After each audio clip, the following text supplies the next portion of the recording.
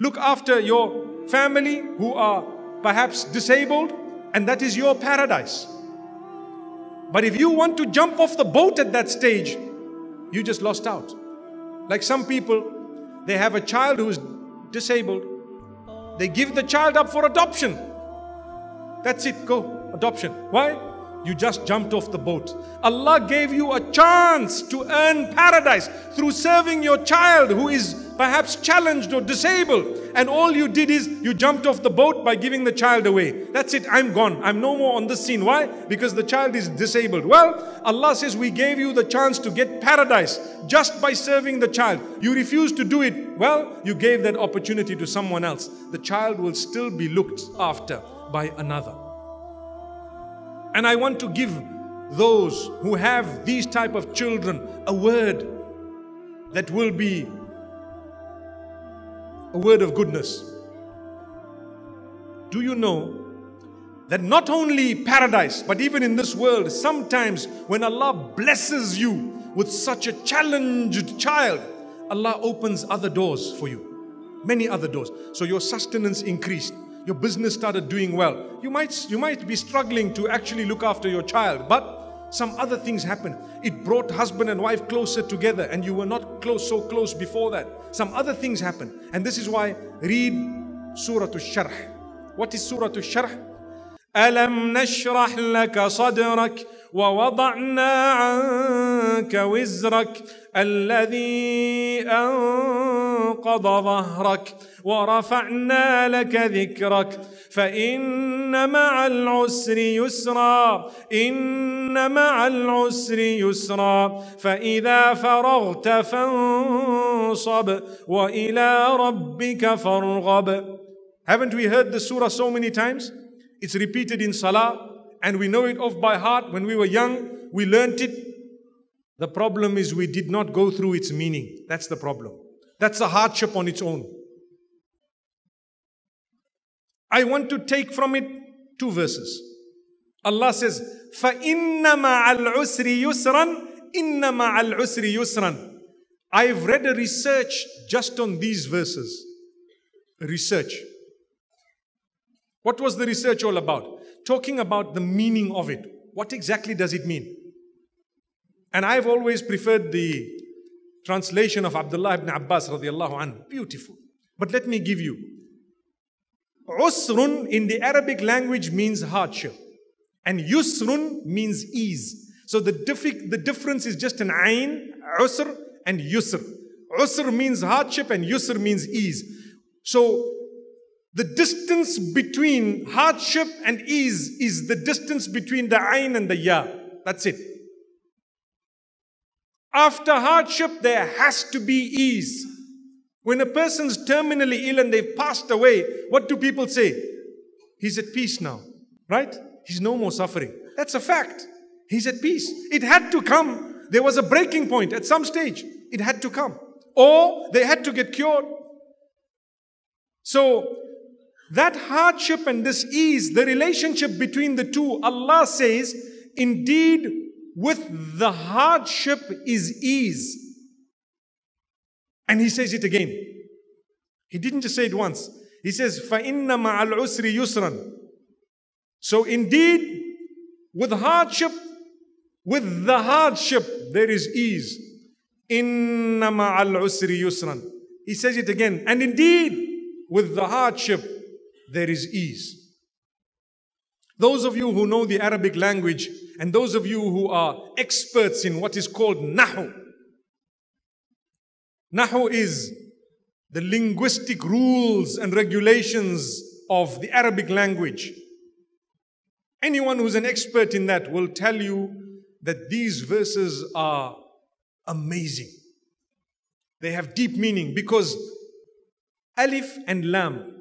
Now I'm sure most of us would actually understand what that means. Alif, these are letters in the Arabic language. Alif and Lam. Al, al. That al has so many meanings in Arabic. So many meanings. So when Allah says al usr, it means in English we just say the difficulty, the hardship. But that the in the Arabic language actually refers to something. Sometimes it's talking about all hardship, all hardship. It is called listighraq al-jins, that which actually includes everything of its kind. When you say annas, you are talking of all the people. So it's not the people, all the people. That's Arabic language. So in this verse, Allah said al usr. It could mean all the difficulty. But the, the linguistic experts say no, it's talking of the difficulty. Why? For a reason. Allah says, with the difficulty there is ease.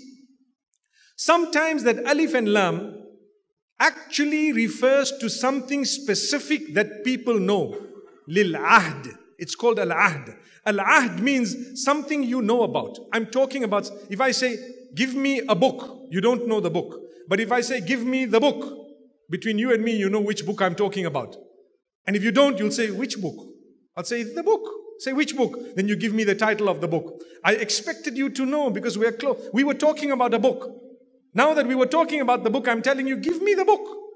Without batting an eyelid, you give me a specific book. The people watching know that between you and I, we were talking about some specific book. I used T-H-E to refer to a specific book. So in the Arabic language, when you said al-usr, you are you could be referring to something that people know about. But in that verse, in that context, Allah has not yet spoken about something. So when I say the book, people need to ask, well, what book? When I say the hardship, people might ask, what hardship? So Allah says, wait. He repeated the same verse again because when Allah said, with the hardship there is ease. And then He said, Inna ma'al usri yusran And with the hardship, now which hardship are you talking about? The one we just spoke about now. There is ease, which means with the same hardship, there are two points of ease. Wow, subhanallah. Now do you get what it means? فَإِنَّ مَعَ الْعُسْرِ يُسْرًا Indeed, with the hardship there is ease. إِنَّ مَعَ الْعُسْرِ يُسْرًا Indeed, with the same hardship we were talking about in the previous verse, there is another ease. Which means, if I add those two verses together, it means with every hardship there are two points of ease. What are the two points of ease? One is Allah will create ease for you. Now, this is another tafsir. This is a third tafsir. Allah creates ease for you in the dunya, and Allah creates ease for you in the hereafter. It's included in the meaning. But I still prefer that which Abdullah ibn Abbas said, radiyallahu anhuma. He says, this verse is speaking about two points of ease with the same hardship. Subhanallah. And this gives me a lot of courage and a lot of encouragement. It actually boosts me in so many different ways. May Allah subhanahu wa ta'ala grant us ease. So those who are going through hardship, don't worry. يا فاري يا صاحب الهم إن الهم منفرج أبشر بخير فإن الفارج الله إذا بليت فثق بالله وارض به إن الذي يكشف البلوى هو الله Oh, you who is going through hardship, difficulty, worry, concern, don't worry.